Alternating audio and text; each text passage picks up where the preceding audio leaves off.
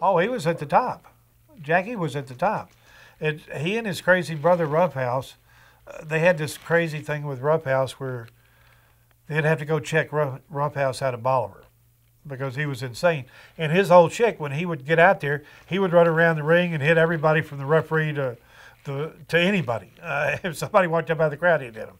But he was supposed to be nuts, and he was a littler guy. He wasn't as big as Fargo, but he was a he was like a little dynamo, a little whirling dervish, uh, your Tasmanian devil, uh, and that was his chick.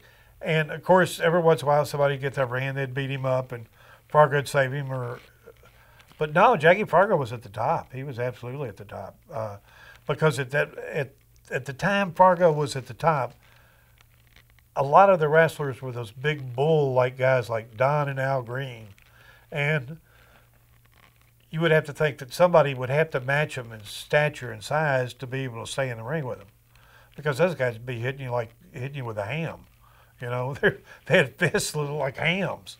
And Fargo, uh, the thing about Fargo was is he was like uh, he was a successful talker. Also, he could get sympathy, uh, and it, you'd and inevitably the bad guy'd say something about Fargo's mama, and that was the end of it. You better not say something about Fargo's mama.